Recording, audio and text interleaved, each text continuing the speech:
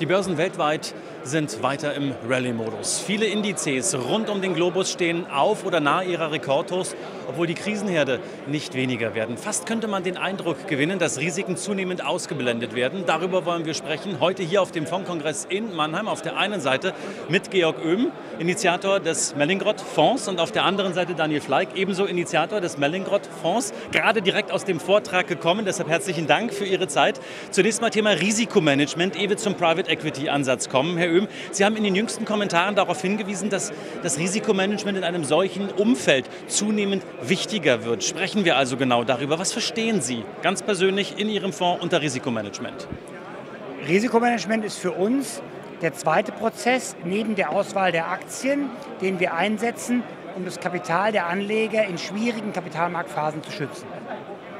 Und das machen wir, indem wir unsere Systeme einsetzen, indem wir den Markt regelmäßig beobachten und indem wir eben auch die Stimmung am Markt genau beobachten und verwerten, uns eine Meinung bilden, um eben zu beurteilen, ist es notwendig, Risiko zu reduzieren im Fonds oder ist es nicht notwendig. Und in Risikophasen machen wir das.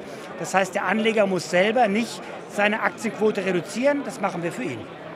Wie genau gehen Sie dabei vor, vor allen Dingen auch im Fonds? Also wie ist das Werkzeug, was ich mir da vorstellen muss? Das geht morgens früh los. Also wenn da äh, um äh, halb sechs kann man äh, im Internet lesen, was die asiatischen Börsen machen. Und dann haben wir genügend Zeit, uns abzustimmen. Also ich sage mal, WhatsApp ist so wie Telex-Handel in den 80ern. Da kann man sich relativ schnell in fünf Minuten abstimmen, wie man den Markt einschätzt. Ich sage mal, an neun von zehn Tagen ist nichts. Aber wenn eben was zu regeln ist, sind wir eben wenn um 8 Uhr der Future aufmacht, bereits abgestimmt und haben eine Meinung, wie wir uns verhalten wollen. Und das wird dann eben über den Tag umgesetzt. Und die Umsetzung erfolgt durch zwei Dinge. Das eine ist Kassequote erhöhen, reduziert das Risiko. Das andere ist DAX Future, reduzieren das Net Exposure zu Aktien. Und das machen wir durchaus beides, weil es sich bewährt hat, das zu kombinieren.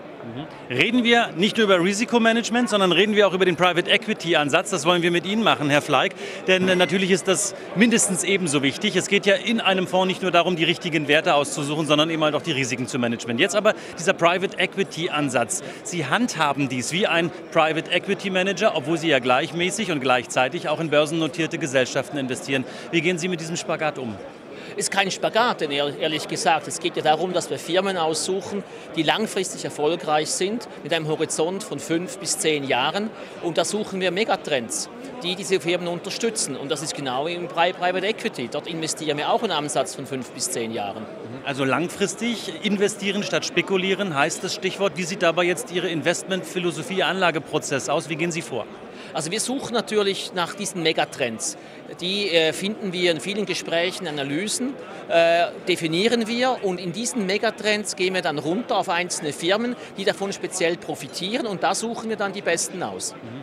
Welche sind denn das beispielsweise? Ich weiß, es gibt derer viele und die Zeit würde jetzt nicht ausreichen, um alle zu nennen, aber ja. welche sind aus Ihrer Sicht die wichtigsten vielleicht? Also sicher ein Thema ist Technologie, äh, das Thema Internet of Things äh, und die Auswirkungen da auf die ganze Semiconductor-Branche auf der einen Seite.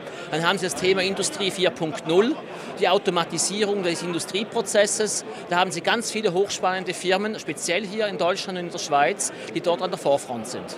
Keine Angst, ich will mit Ihnen jetzt nicht über den Bitcoin reden, das ist sicherlich noch wieder ein ganz anderes. Thema, aber über die Technologie, die dahinter steckt, Blockchain beispielsweise, auch die wollen wir nicht erklären, aber ist das so ein Gamechanger, ist das auch so ein Megatrend im Technologiebereich, wo Sie sagen, das müssen wir uns genauer angucken? Ja, ich glaube, das ist noch ein anderes Thema.